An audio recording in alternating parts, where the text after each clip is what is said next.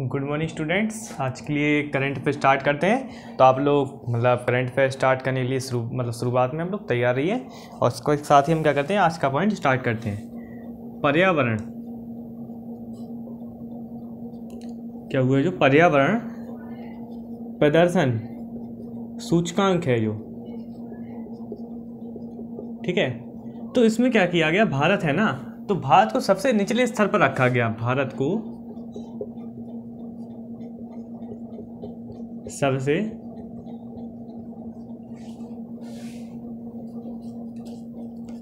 निचले स्तर पर रखा। क्यों रखा गया? अब ये भी होती है, क्योंकि पर्यावरण के मामले में भारत में बहुत सारी, क्या बोलते समस्याओं को देखा गया और उनके निवारण के लिए भारत के उठाए गए कदमों को। मतलब हर तरह से क्या होता है, पर्यावरण के लिए इस चीज़ को देखा जाता है, किसी भी देश को परखा जाता है। तो उसके लिए क्या किया गया, भारत को देखा गया। तो इनमें भारत में पाया गया कि भारत में जो मतलब क्या बोलते गंदगी और क्या बोलते पर्यावरण को लेकर जो कदम है तो भारत तो कदम भारत में कदम तो उठाए जा रहे हैं, परंतु कारगर रूप से अभी ना हो गए आने वाले तीन या चार साल में वो क्या करेंगे, दिखाएँगे। तो इसके लिए भारत को सबसे निचले स्तर पर रखा गया है, ठीक है? इसमें कितने देश शामिल थे? इसमें थे 180 देश। 180 देशों में सबसे नीचे। सबसे नीचे। ठीक है? सबसे नीचे भारत को पाया गया क्योंकि भारत एक तो एक बहुत मतलब कहा जाए तो बहुत जगह ऐसी हैं भारत में, जो कि बहुत ज़्यादा गंदी है मतलब क्या कहा जाए, प्रदूषण है उसमें। किसी ना किसी प्रकार से वहाँ पे प्रदूषण, जिसके लिए स्वच्छता अभियान मोदी की, मोदी जी द्वारा चलाया, पीएम मोदी द्वारा अपने भारत देश में स्वच्छता अभियान चलाया जा रहा है, जिसके तहत भारत में कुछ जगह बहुत ज़्यादा साफ़ हैं और कुछ जगह बहुत ज़्यादा गंदी, ठीक है? तो इसी के साथ ही भारत को अठारह दशमलव नौ के कुल स्कोर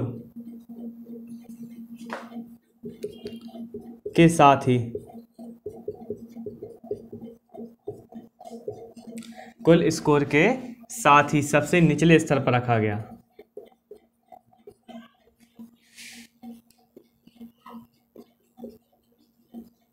स्तर पर रखा गया। ठीक है?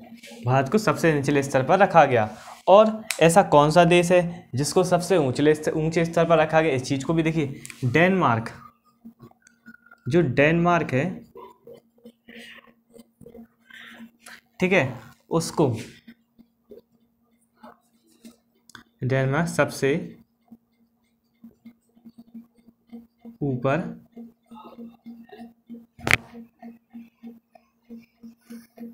स्थान प्राप्त है मतलब कि नंबर वन पर।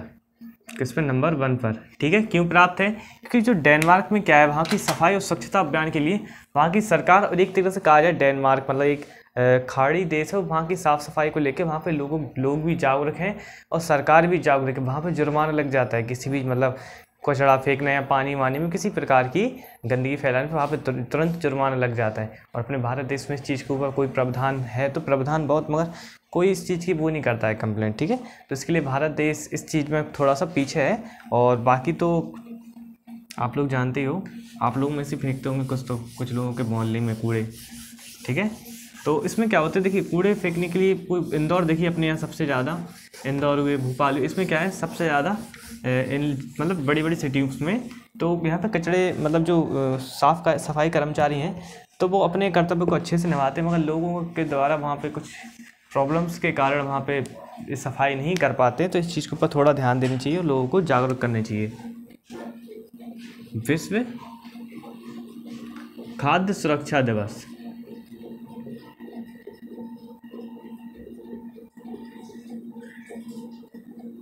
विश्व खाद्य सुरक्षा दिवस। ये क्या होता है? विश्व खाद्य सुरक्षा मतलब पूरे विश्व में खाद्य की क्या करना है? सुरक्षा करना है। लोगों को अच्छे से अच्छा खाने को उपलब्ध कराना और लोगों के द्वारा उनके स्वास्थ्य के प्रति जागरूकता को फैलाना। ये क्या होता है? विश्व स्वास्थ्य सुरक्षा दिवस का क्या होता है? काम होता है। इसके द्वारा असुरक्षित भोजन से जुड़े लोगों को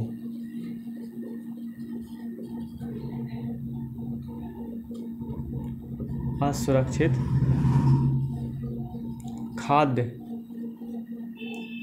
से जुड़े लोगों को असुरक्षित खाद्य से जुड़े लोगों को क्या करना? स्वास्थ्य।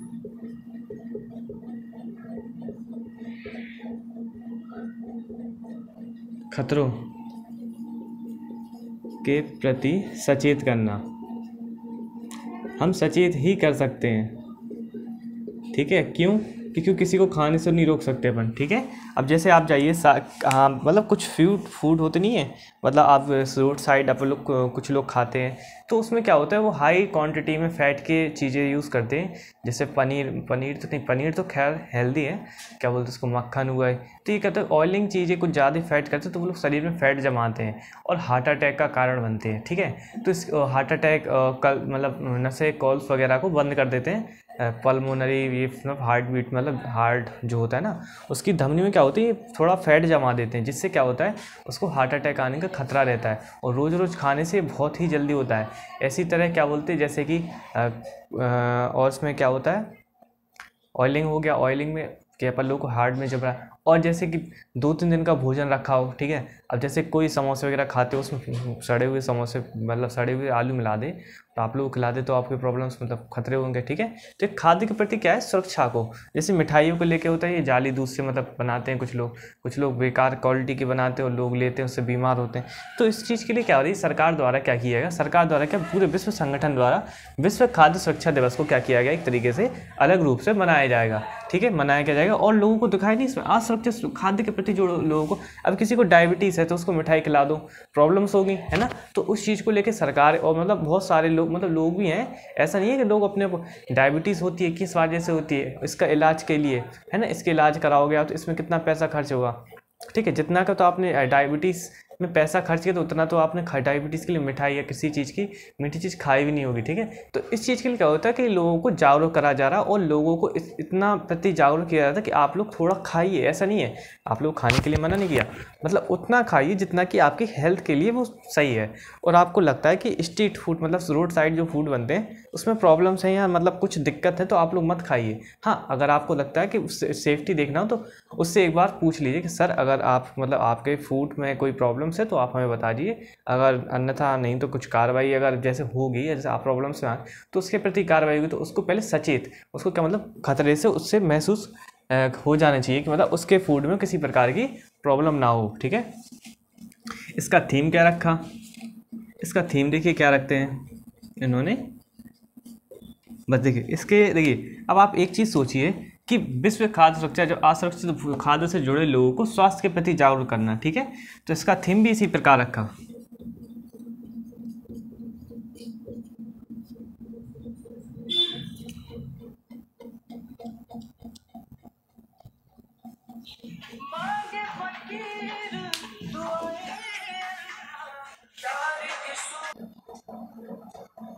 तो इसका थीम क्या रहा? इसका थीम था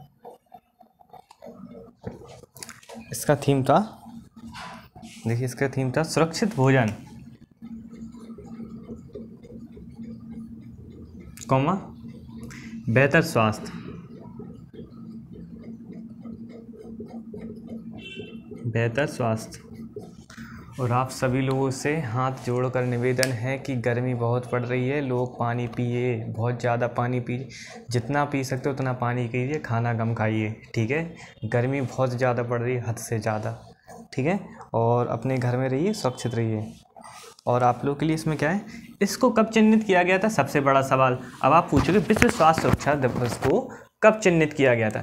इसको किया गया था 2018 में। इसको क्या किया गया था? चिन्हित किया गया था कि हम क्या करेंगे? विश्व विश्व खाद्य सुरक्षा दिवस को क्या करेंगे? मनाएँगे। और किस तरह से मनाएँगे? उस चीज़ को सोचा गया था। और इसके मतलब बेहतर स्वास्थ्य के लिए लोगों को जागरूकता को बढ़ाने के लिए इस चीज़ को मनाया गया। ठीक है? आप क्या करेंगे? नेक्स्ट पॉइंट पर चलेंगे।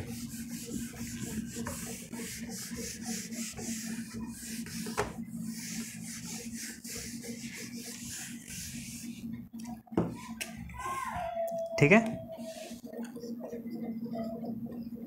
इंटरमीडिएट ठीक है? इंटरमीडिएट रेंज की?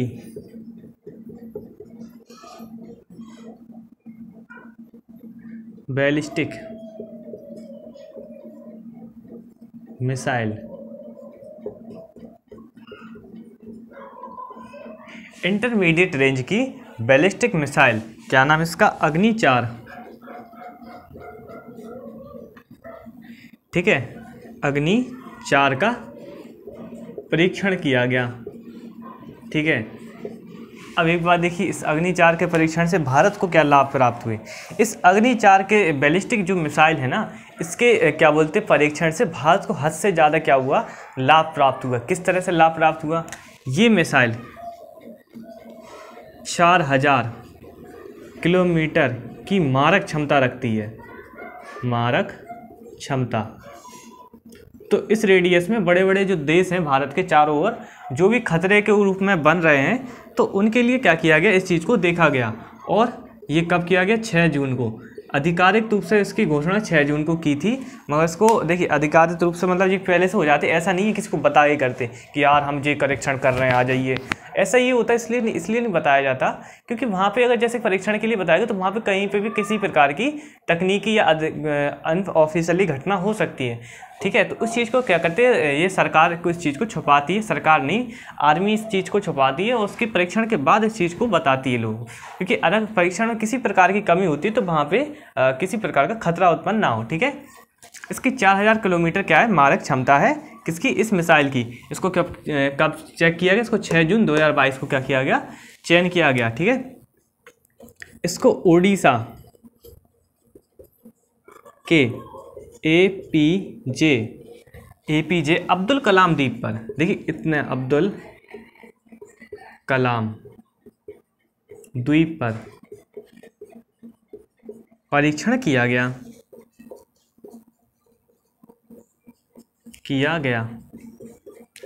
ये आप जो जो अब्दुल कलाम जी को नहीं जानता हो तो अभी सर्च करना अब्दुल कलाम, ठीक है? ये वो व्यक्ति थे जो बैक ब्रेंचर थे, ठीक है? और जिन्होंने अपनी पूरी ज़िंदगी में मतलब इतना किया इतना किया लोगों को, इतना भलाई की और इतना देश को आगे बढ़ाया। उन्होंने मिसाइल के क्षेत्र में कि जिस नाम के जिसलिए ये विख्यात हैं। ये एक साइंटिस्ट के रूप में क्या हुआ? देश को मतलब अच्छे से अच्छा जितना सशक्त बनाने में इनका सबसे बड़ा योगदान है। ये बस ये बस क्या कहें इनसे? ये बहुत बड़े आदमी हैं मतलब थे, अब्दुल कलाम जी थे और ये अब क्या कहें? ये मतलब शख्सियत ही है। जहाँ पे अब्दुल कलाम की बात हो तो वहाँ पे उनके बारे में जो जानता ना हो तो वो बहुत बड़ी बात होती है। बहुत अच्छे आदमी थे और ये बहुत इन्होंने लोगों को प्रेरित करने के लिए स्टूडेंट्स को प्रेरित किया इन्होंने। ठीक है? स्टूडेंट्स को भी प्रेरित किया उनके कामों के लिए और अपनी, क्या बोलते हैं, अपनी मतलब इनकी क्या इनकी क्या बोलते हैं करियर इन्होंने जिस तरह से बनाया, उनकी स्टोरी कुछ ज़्यादा ही मतलब क्या बोले तो आप लोग के पास सभी सभी सुविधाएँ, उनके पास उस टाइम कुछ नहीं था। ठीक है? अपने भारत का जब पहला रॉकेट क्या बोलते हैं स्पेस में क्या हुआ था, वो टेस्ट हुआ था, मिसाइल रॉकेट टेस्ट तो उसको साइकिल पर ले जाया गया था, ठीक है? उस, उनके बूस्टर्स वगैरह जो थे, साइकिल से छोटे छोटे बैल गाड़ी पे टुकड़ों पे लिया जाया गया था, ठीक है? फिर वहाँ पे असेंबल करके उसको लॉन्च किया। था दूसरे देश हंस रहे थे उस टाइम जब मगर जब वो कामयाबी मिली ना तो दूसरे देश शकल देखते रह गए, क्योंकि उनका अरबों, खरबों रुपये लगता, इधर करोड़ों में काम हो गया, ठीक है? ये बहुत ज़्यादा एक कही जाए बात है, ठीक है? भारतीय सेना इंडियन आर्मी भारतीय सेना अभ्यास।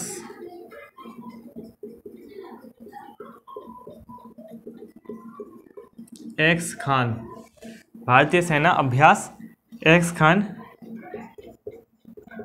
कोस्टर 2022 में भाग लेगा। ठीक है, क्या लेगा? भाग लेगा। जो 2022 में क्या लेगा? भाग लेगा। इसके अंतर्गत 16 देशों की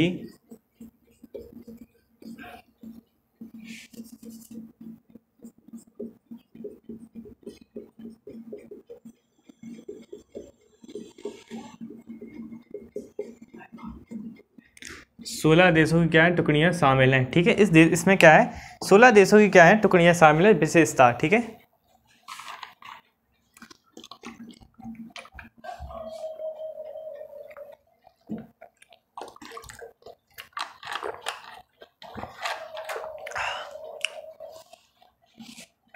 कितनी सोलह देशों की ये क्या है, टुकड़ियाँ शामिल हैं, जिसके अंतर्गत यह एक विशेष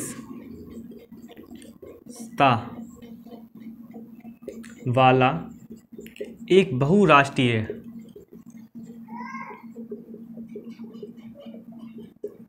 बहुराष्ट्रीय क्या है, शांति अभ्यास है।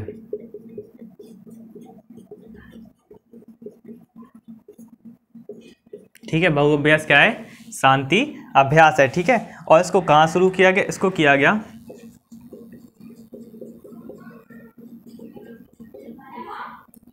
मंगोलिया में 6 जून को शुरू शुरू हुआ। ठीक है, ये मंगोलिया में क्या हुआ? 6 जून को क्या किया गया? शुरू किया गया, ठीक है? मंगोलिया में कितनी तारीख, कब शुरू किया गया? छः जून को क्या किया गया? शुरू किया गया। और इसके अंतर्गत भारत की कौन सी वो होगी सब में शामिल? इसमें भारत की लद्दाख। स्काउट्स के दल हिस्सा लेना, हिस्सा लेगा। ठीक है? और इसमें इसका उद्देश्य क्या है? शांति अभियानों को विकसित करना। किसका उद्देश्य? एम। शांति, सहायता, अभियानों को विकसित करना।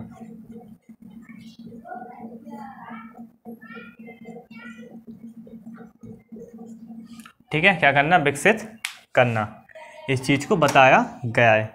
और बस इसमें क्या है, एक पॉइंट और रह गया आपका, क्योंकि आज पाँच पॉइंट इसलिए करा रहे क्योंकि आज हमें जाना है और आप लोगों के लिए इससे इतने अच्छे अच्छे पॉइंट लाना के लिए हमें थोड़ा आज प्रॉब्लम्स है मतलब थोड़ा तबीयत सही नहीं है। आज तो थोड़ा डॉक्टर को दिखाने जाना है। गर्मी की वजह से बहुत ज़्यादा उल्टी वगैरह खाना वगैरह कुछ नहीं खबरा ठीक है?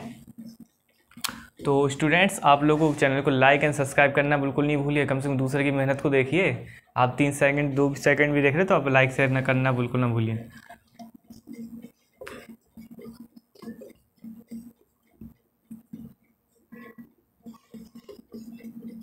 उत्सर्जन की कटौती के लिए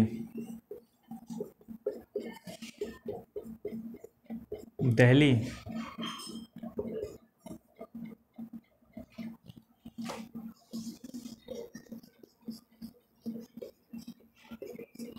दिल्ली हवाई अड्डा। सही सभी को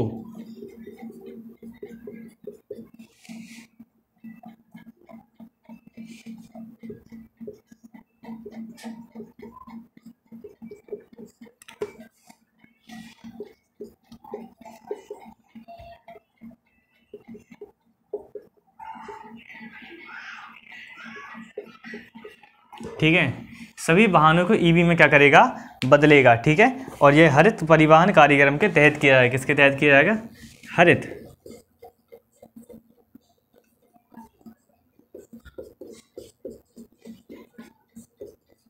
कार्यक्रम के तहत किया जाएगा।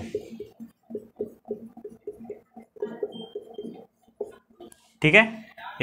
हरित परिवार कार्यक्रम के तहत किया जाएगा। बस आज के लिए इतना ही।